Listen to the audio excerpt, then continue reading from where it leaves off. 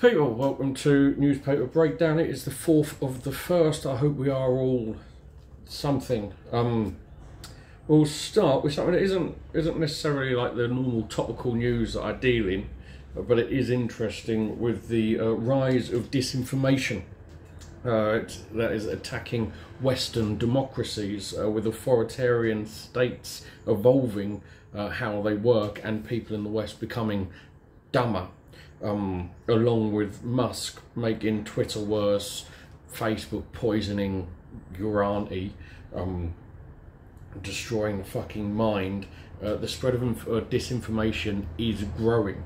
Um, so people are looking into ways of how to solve that particular conundrum. There are some interesting things going on at the moment in 2023. We expect to see a raft of new legislation, both uh, uh, from the UK, EU, US, uh, Australia. Um, uh, including things like the UK's Online Safety Bill and the EU's Media Freedom Act. Uh, though with bills like this, it is always important to have a look and see what's being taken away uh, with the excuse of protection.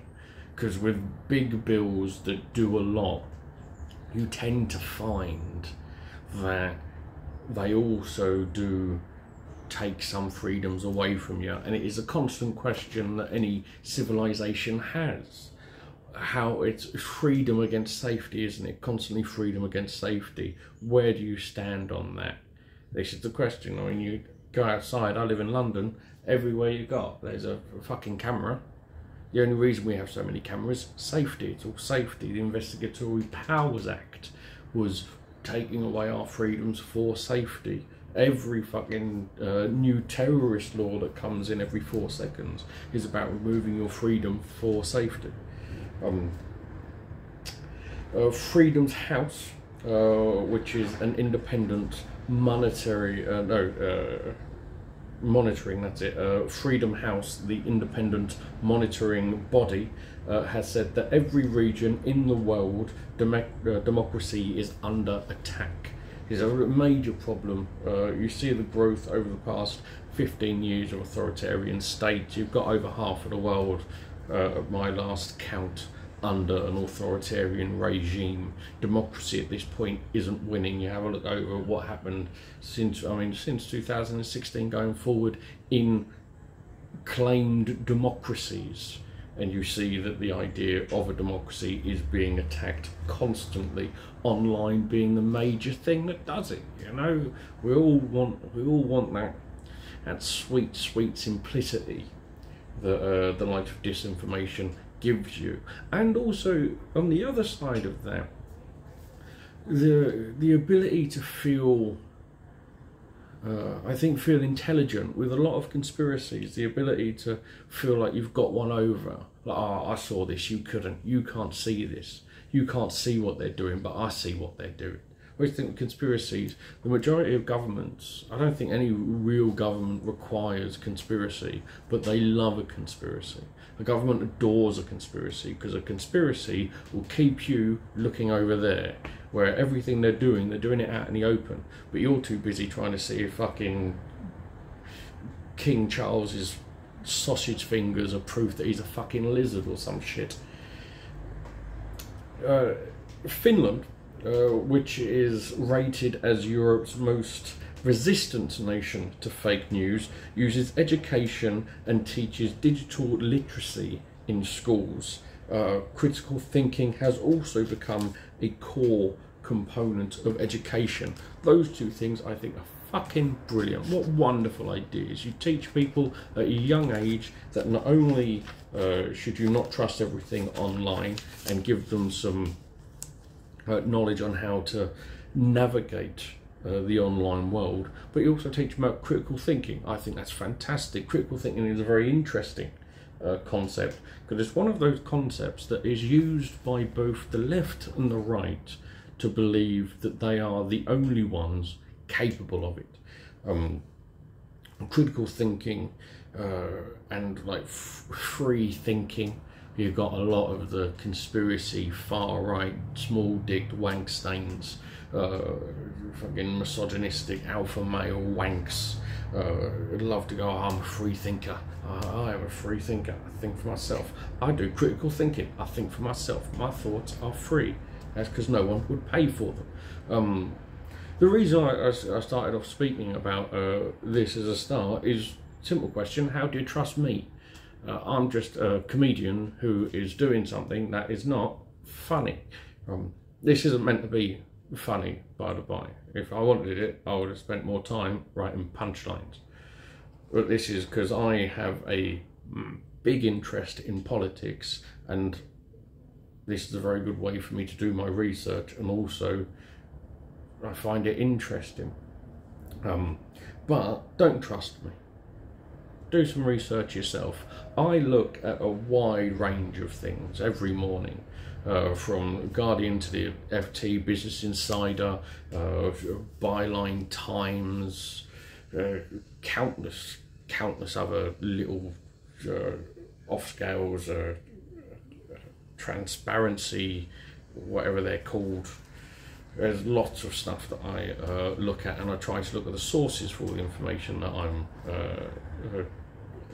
getting down to say, but still, don't trust me. I'm just a bloke.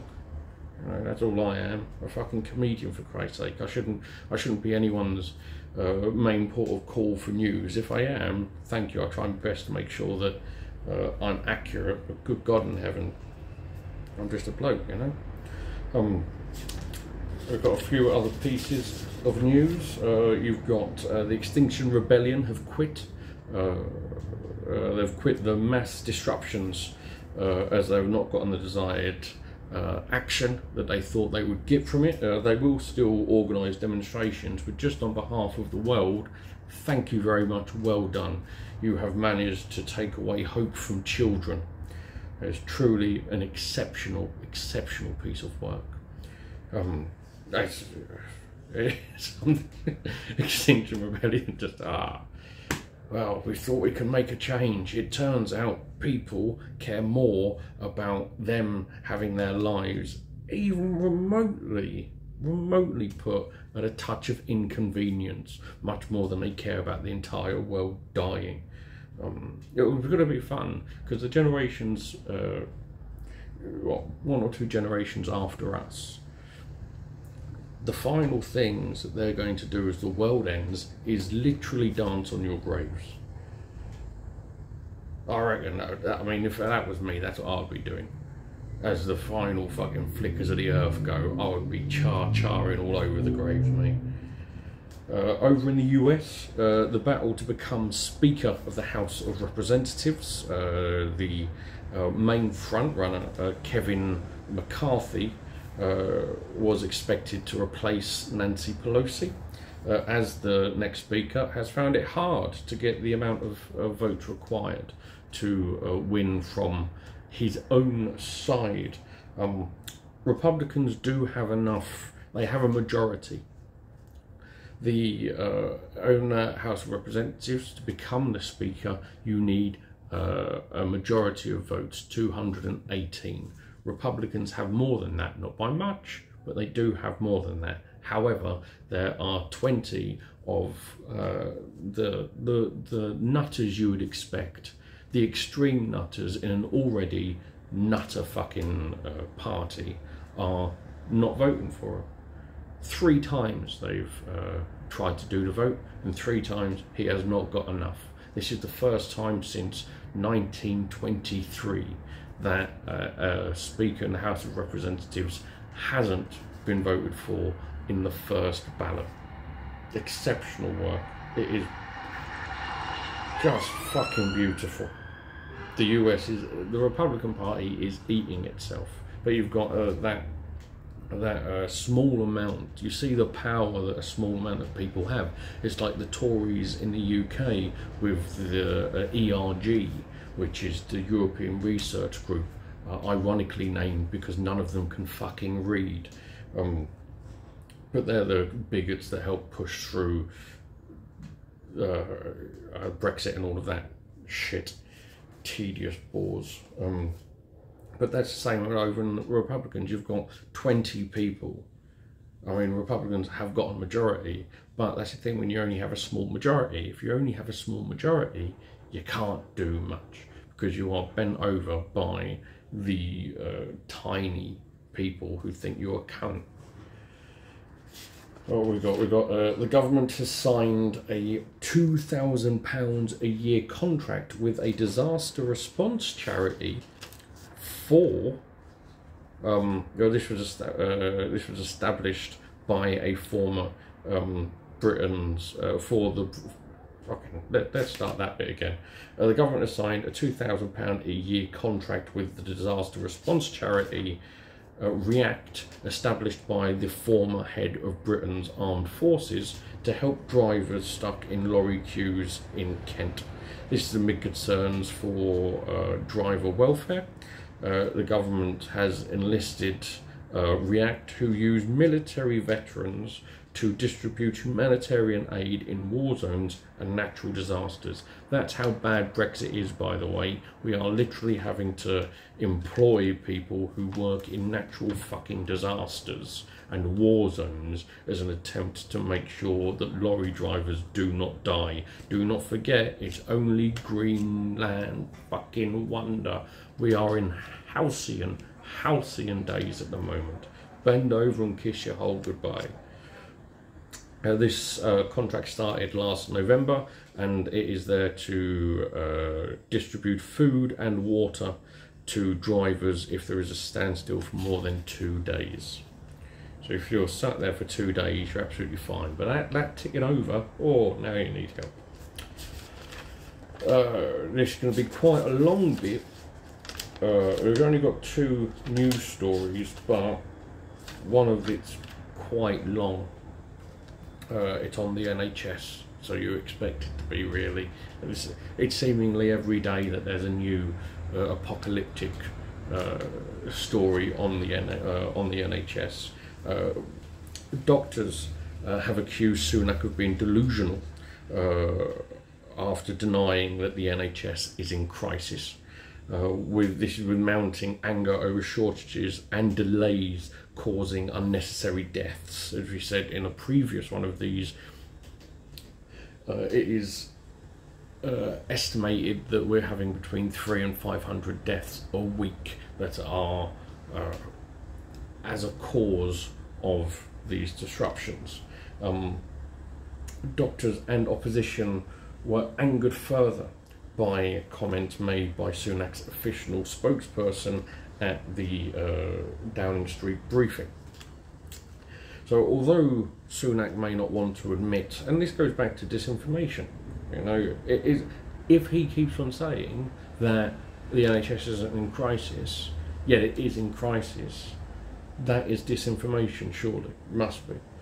Um, although he doesn't want to admit that uh, the NHS is in crisis. Let's have a look at a couple of the reasons why it is.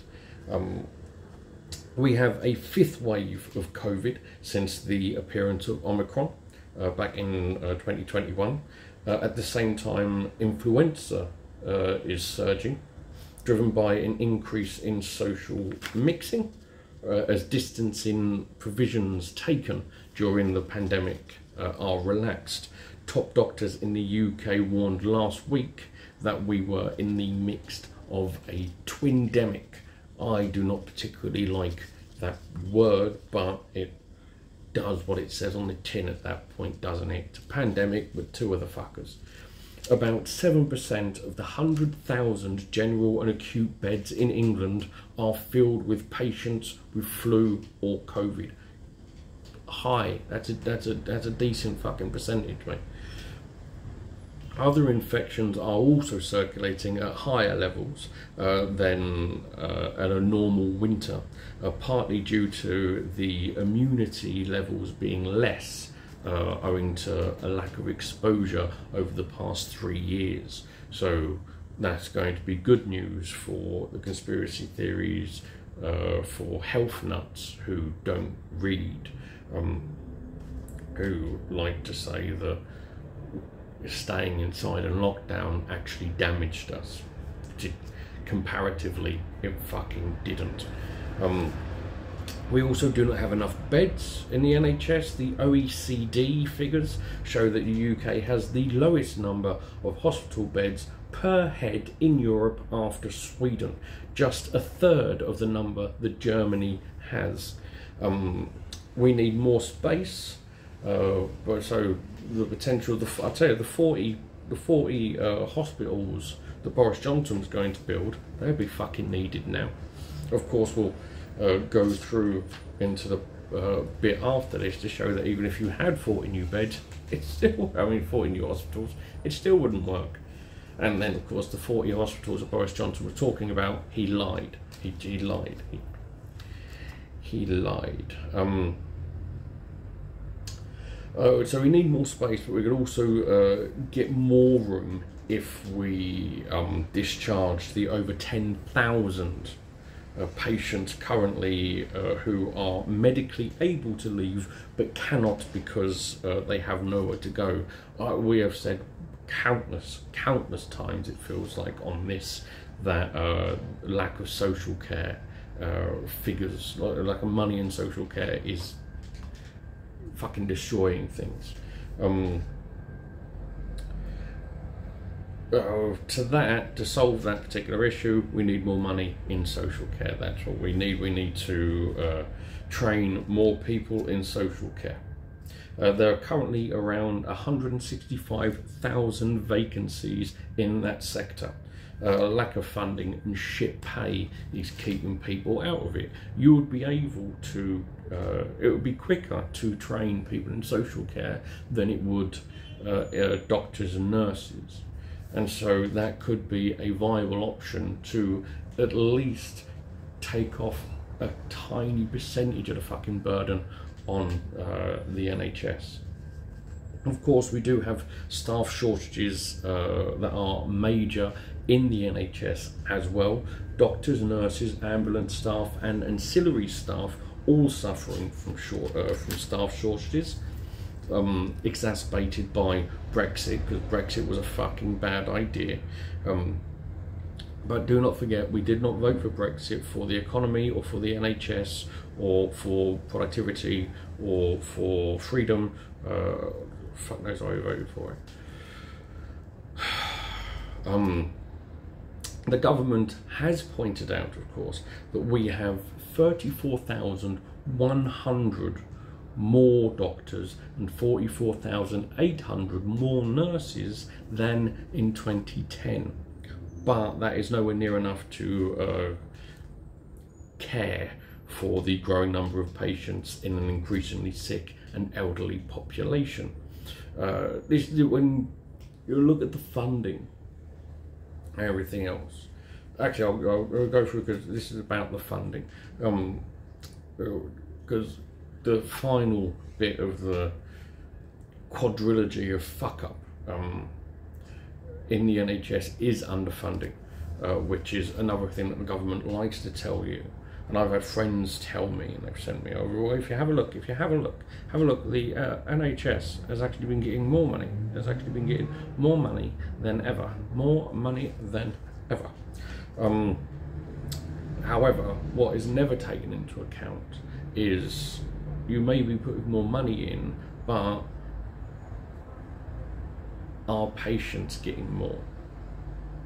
Uh, so uh, the growth in demand for healthcare has exceeded the increase in government funding since the 2008 financial crash. In October 2020, the think tank Health Foundation said the NHS funding would need to grow at twice the historic rate of the 2010s to meet demand.